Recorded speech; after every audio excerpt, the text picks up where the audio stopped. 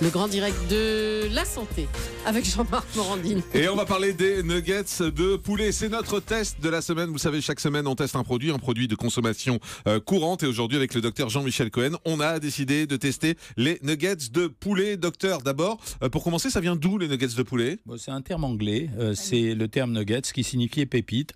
Et en réalité, bon, c'est assez simplé comme recette. C'est simplement couper des petits bouts de poulet et les passer dans de la panure et les faire frire. Simplement, la présentation est très attirante parce que c'est la notion de boucher, mais c'était un terme anglais. Bah, il y a toujours beaucoup de mystères et on entend beaucoup de choses autour euh, de la composition de ces nuggets de poulet. On se demande toujours s'il y a vraiment du poulet ou pas. On va en tester dans un instant. Hein. On a des nuggets Igloo, euh, Carrefour, Le Gaulois, qu'est-ce qu'il y a? Père Dodu aussi, et puis ça je sais pas ce que c'est. J'ai pris un premier prix aussi parce que pour voir s'il y avait vraiment une très grande différence. Keep, and Snack. Ouais, Keep and Snacks. Je sais même pas si c'est pas le mot simplement snacks de poulet, ce ah que ça veut dire. mais en tout cas, c'était la marque premier prix qu'on a trouvé chez Carrefour, qui est pas fabriqué par Carrefour, mais qui est en premier prix. C'est fabriqué comment normalement les nuggets? Alors, À la base, normalement, c'est un morceau de poulet qui est roulé dans de la chapelure. Cette chapelure, elle peut prendre différentes formes. Soit on met de la farine et de l'eau et euh, on les passe dans l'huile, soit éventuellement on peut mettre des œufs si on veut faire plus une préparation de beignet.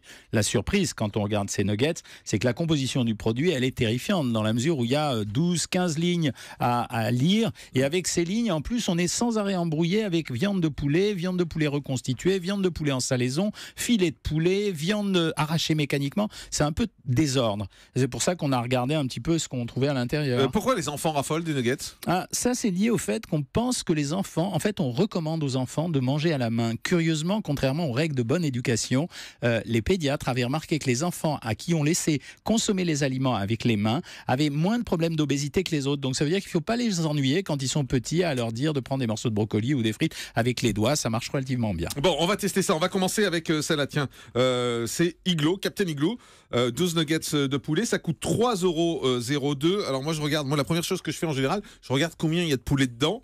Euh, là, ça nous dit 51% de poulet. Alors, c'est beaucoup, c'est pas beaucoup. Oui, c'était en moyenne, c'est ce qu'on va retrouver dans les nuggets. On va retrouver pour les plus faibles 45%, pour les plus épais, on va retrouver environ 52-53%. On retrouve presque toujours la même chose en termes de quantité de poulet. Moi, je l'ai mis en numéro 1, euh, Iglo, simplement parce que le produit était assez simple. C'était de la viande de poulet pour 51% et ils avaient mis, ils avaient mis 100% de blanc de poulet. Ça veut dire que c'était vraiment des morceaux de blanc de poulet. Alors, est-ce que ça a de l'importance? Oui, parce que quand vous prenez 100% de filet de poulet, vous avez essentiellement les protéines du poulet. Donc ça veut dire que c'est de la chair noble, même si c'est pas euh, le blanc de poulet qu'on a découpé en petits carrés. Expliquez-moi, 51% de blanc de, poulet, le reste c'est quoi? Alors le reste c'est de la panure et vous avez environ. Ça veut dire qu'il y a 49% de panure? Vous avez 30% de panure, puis vous avez aussi de l'eau et de l'huile. Ça veut dire que ça sert. Ah. Oui, non, mais ça sert à fabriquer la, recette parce que vous avez deux façons de préparer cette recette. Soit vous les passez à la poêle, c'est ce qu'on a fait pour que ça ait moins l'air de chair morte que ça n'en a l'air. Vous verrez le dernier produit. Chair morte, ah vous verrez le dernier produit qu'on va montrer. Ah, quand même la couleur, elle, est dégoûtante. Et donc, vous avez en fait ces 100% de dents de poulet. Donc, c'était ça qui m'intéressait chez Iglo. Le seul problème, c'est que vraiment, il y avait une grosse différence de prix. On payait 3 euros euh, les 200 grammes, ce qui était quand même un peu cher. Ah, franchement, c'est très bon. Moi, oui, hein, franchement, vous, vous voyez, il n'y a, jamais de mystère. Bien il n'y a jamais de ah mystère. Quand vous regardez les ingrédients d'un produit, il n'y a jamais de mystère. Quand vous regardez les ingrédients d'un produit et quand mhm. vous le testez, vous avez en général la valeur du goût au travers des ingrédients du produit. Alors en tout cas, celui-là est très bon. C'est euh, Captain Iglo, 2 nuggets, 3,02€. Euh, on teste euh, Père Dodu. Alors Père Dodu, il a été classé en numéro 2 et il a été puni d'être en numéro 2 parce qu'ils ont triché, parce qu'ils ont mis préparation à base de poulet en filet. et en fait, ils indiquent bien filet de poulet, sauf que c'était préparation à base de filet de poulet. Et il y avait 39 de, de poulet reconstitué et il y avait le reste qui était euh, en poulet normal. Donc c'était pas sympa d'avoir fait ça parce que je trouve que préparation à base de poulet en filet, c'était pas la même chose que euh, le filet de poulet de Iglo. Cependant, c'était un bon produit. Il avait deux avantages, Père du Premier avantage, c'était le moins riche de la bande, c'est-à-dire 185 calories. Deuxième avantage, il avait un rapport protéines sur lipides, il avait plus de protéines que de graisse. Donc joli produit. Euh, numéro 2, ils n'auraient pas triché, voilà, c'était pas très grave. nuggets de poulet, y a combien de poulet dedans alors là-dedans, il y avait euh, 65%. En fait, Donc il y en a plus que tout à l'heure. Il y en avait. Non, non, parce que ça, à chaque fois oh. sur ces produits, il y a la quantité de poulet, il y a la quantité de poulet qui a été mise en, préparation, mais il y avait 65% de, de, poulet en salaison, dont 39% de filet de poulet, et le reste c'était de la viande reconstituée. Moi, je trouve ça plus plastique en eh fait. Ben, vous voyez, vous vous en rendez compte. Ah oui, mais vraiment. Pourquoi, pourquoi c'est plus plastique bah, l'autre, pourquoi? Donc Iglo était meilleur, pourquoi? Parce que euh, il est plus plastique, parce que vous avez affaire à de la chair de poulet reconstituée. C'est quoi de la chair de poulet reconstituée? C'est que vous avez pris des morceaux de poulet, peu important l'origine, vous les avez hachés et ensuite vous les avez reconstitués pour leur donner une forme. Et là, en l'occurrence, il y avait un peu de filet de poulet et un peu de viande de poulet. Alors, on passe euh, à Carrefour. Alors là, c'est des frites de poulet pané, c'est pas vraiment des nuggets. C'est la forme qui change. J'ai fait exprès, justement. C'est Parce que ça m'a intrigué de voir qu'il y a nuggets de poulet, on s'en fout que ça soit des pépites ou des frites. Mais ça m'a intrigué de savoir si euh, les frites de poulet étaient intéressantes euh, et s'il y avait une vraie différence avec les autres. C'est pas Alors, bon. bah, et pourtant, Ah y bah avait. non, c'est pas bon. Ah, les Non, frites, non. elles sont pas bonnes. hein Ah non, c'est pas bon. Bah, du tout. elles sont appétissantes en 79. tout cas. hein. Pardon. Bah, Mais c'est pas très bon. goûtez. Non, non, mais ce- attendez, je peux pas parler et goûter. Euh, Non, c'est pas vous que je parle, c'est Elisabeth.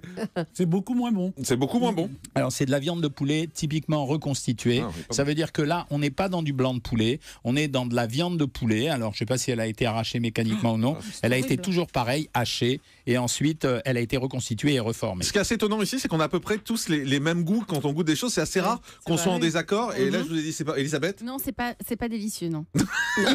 Pour être poli. pour, être- pour être poli. Ouais, il y, a- il y a un goût bizarre, quoi. Ouais, suis d'accord, mais euh, Julie, vous avez c'est- bon, ce bon. que je suis en train de vous expliquer. À partir du moment où vous avez de la viande de poulet reconstituée, bah, vous avez une tonalité du produit qui est pas la même. Il est Alors- moins cher celui-ci, excusez-moi. Ah, Alors oui, oui. celui-là, euh, c'était euh, 1,66€. 1,66€. Alors après, ça va un peu valoir le même prix. hein, vous allez voir. hein. Vous allez passer de 1,66€ à 1,59€ à 1,47€. La différence en prix, elle n'est pas très grosse. L'avantage des frites de poulet de chez Carrefour, c'est que c'était là où il y avait le plus de viande de poulet. On Ah, était à 79%. Ouais, mais c'est de la Ah oui, viande mais de pourquoi poulet. c'est pas bon alors? Bah, parce que c'est de la viande de poulet reconstituée. D'accord. Et c'est pas Ah, de, de la viande à base de filet de poulet. Alors celui-là, il présente bien. Il faut dire qu'il est plutôt euh, joli. C'est le Gaulois, beignet de poulet. Euh, alors il vaut euh, 2,58€. Et il y a écrit ingrédients à la mise en œuvre viande de poulet 52%, panure 30%. Ouais, c'est ça. C'était un produit relativement correctement composé. Il n'avait aucun intérêt. Ça veut dire que par rapport à tout ce que j'ai vu, il n'y avait pas d'avantage prix. Il n'y avait pas d'avantage vis-à-vis de la viande de poulet Ouais, parce que c'était de la franchement, viande de au goût, c'est bon. Ouais, Très bon. Parce qu'ils ont mieux désolé. choisi probablement le Ah ouais. poulet reconstitué. Et il y avait beaucoup de choses dedans. Il y avait des colorants, il y avait euh, de la chapelure de blé, il y avait de la farine de sarrasin, il y avait de la farine, il y avait du riz, il y avait de l'amidon transformé. Grosso modo, c'est un produit qui m'a fatigué à regarder. donc c'était pour ça que je l'ai un peu négligé. Mais il est ça bon, m'a hein. fait étonner. Oui, il est bon. Ça m'a C'est justement. c'est la panure qui Mais a bon parce goût que le Gaulois, c'est une marque qui fabrique bien quand même. Ça veut dire que là, sur ce classement qui est quand même assez grossier, les produits, ils se, re- ils se retrouvent un peu les uns les autres. Ben, le Gaulois, c'est une marque qui s'est fabriquée quand même. Très bien. On va passer. Oui, allez-y. En quoi c'est gênant qu'il y ait tous ces produits, comme vous dites C'est vrai que ça semble pas très naturel, mais s'il y a plusieurs ingrédients dans la chapelure, C'est pour moi une bon. déformation du goût. C'est pour moi une déformation du goût. Ça se passe au niveau de la transmission. Quand vous commencez à faire de la nourriture sans utiliser des ingrédients de type noble ou de type traditionnel,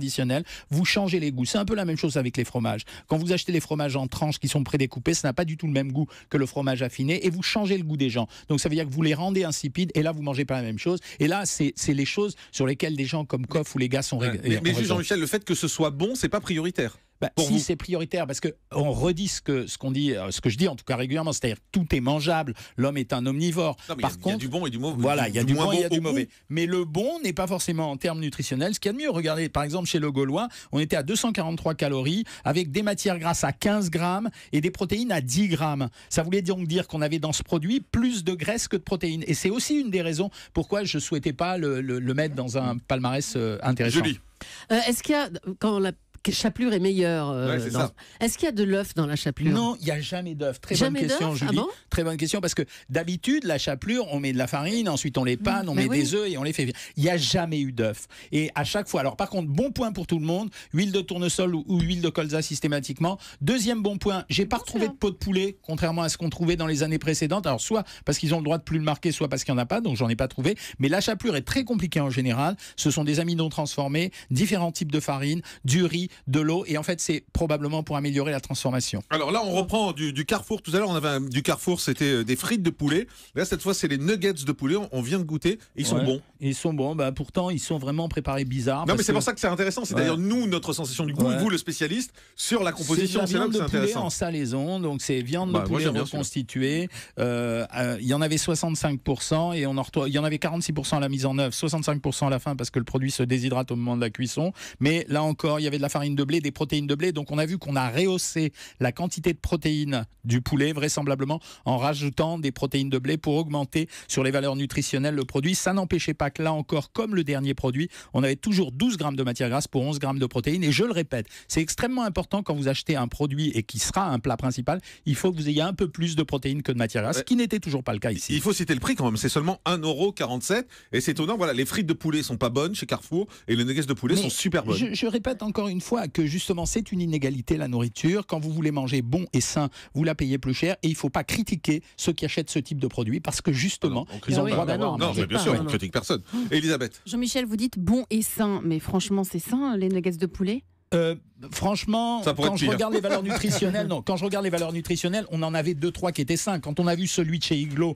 avec 14 grammes de protéines, 12 grammes de graisse, euh, celui de Pierre Dodu avec 13 grammes de protéines, 9 grammes de graisse, oui, c'est des produits qui sont sains. Mhm. Quand on a des produits qui apportent plus de matière grasse que de protéines, comme c'était le cas sur celui-là, non, je peux pas dire que ça soit sain. Encore que je modère ce terme en disant, je vais pas euh, jeter l'anathème sur ces produits. Oui, Là, là on, te- on teste le Keep and Snack.